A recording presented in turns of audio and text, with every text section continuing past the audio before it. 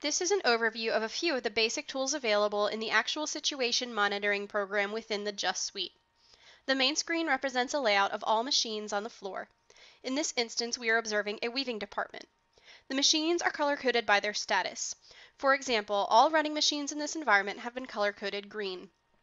We can define other stops and other statuses by different colors. These will be summarized at the bottom portion of the screen.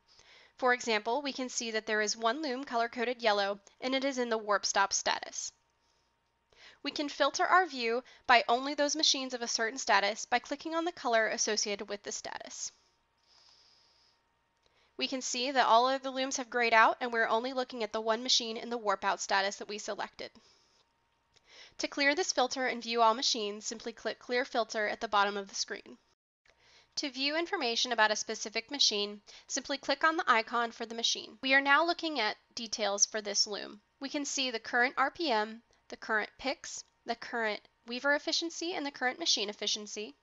We can also see the status of the machine and for how long the machine has been in this status. And we can compare the current shift to the prior shift in terms of downtime, number of warp stops, number of filling stops, number of manual stops, and the total number of stops. On this portion of the screen, we also see the standard RPM and the standard efficiency to compare to, and we have the current performance and productivity values. On this portion of the screen, we have a few more tabs with more information.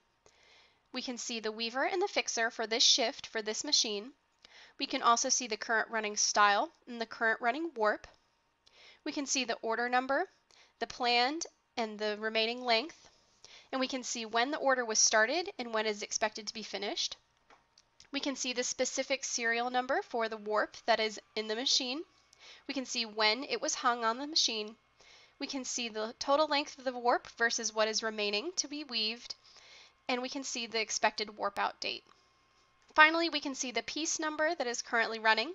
We can see when it was started on the machine and the current length for this piece. On the Shift Data tab, we can see some historical information such as efficiencies, warp stops, fill stops, declaration downtime, picks, and meters for a prior shift. On the Declarations tab, we see a history of the declarations that were entered for this machine.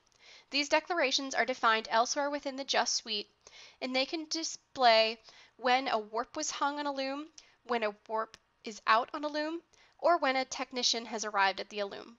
These are a few of the very basic functions that are available in the actual situation.